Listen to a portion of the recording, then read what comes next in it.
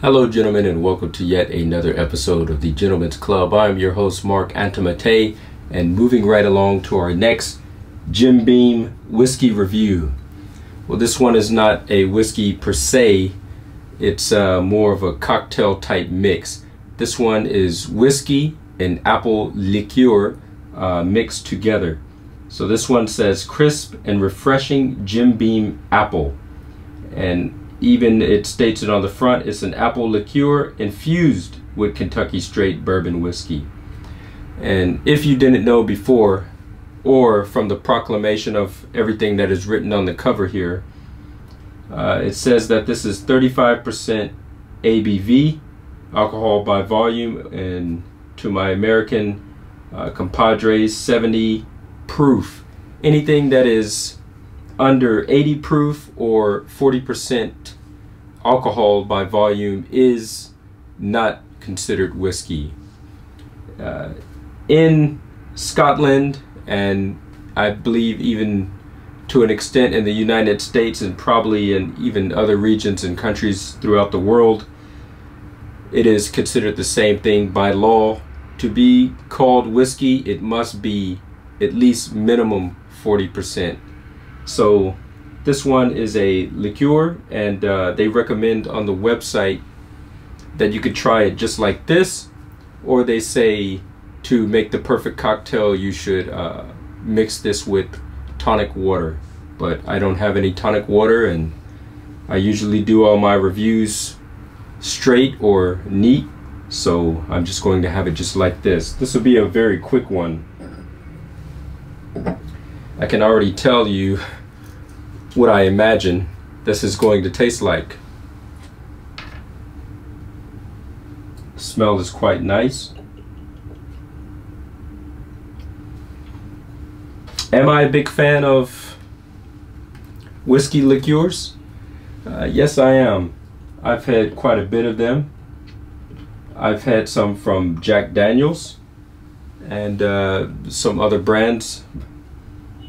And um, it's just it's just a refreshing drink that you can sit back and enjoy. It's rather light and easy to go down, no fuss.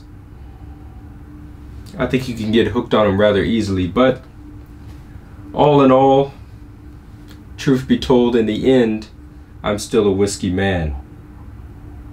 So I don't prefer them over real whiskey, but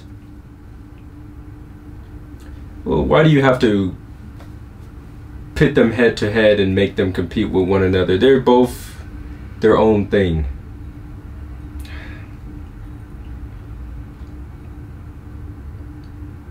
Green apple candy smell, fragrance inside of there with a little bit of oak in the back. And I'm thinking that the taste is going to be the same. Mmm.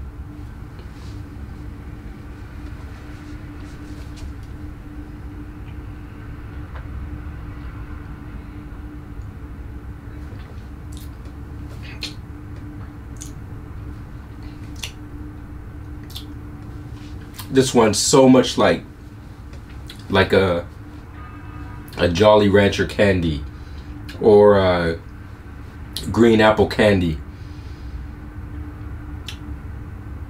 Extremely sweet. The finish very sweet as well. You give it that 10 seconds and you wait for it and more green apple comes up.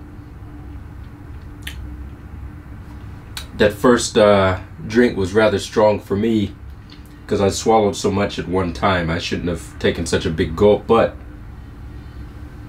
mm.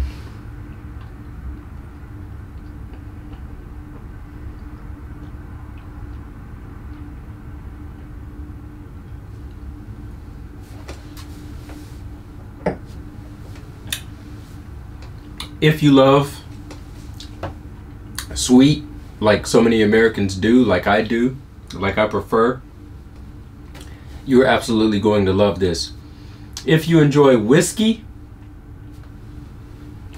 if you enjoy whiskey, you're going to hate this because the website proclaimed that even though the taste is green apple, that you get hints of um, oak in the back.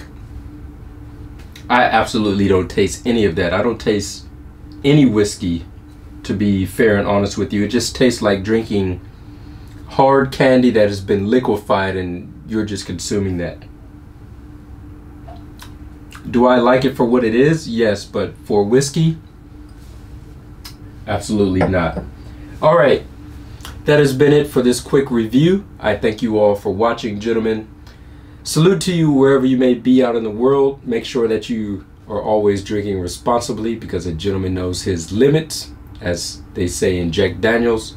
And until next time, gentlemen, keep it classy.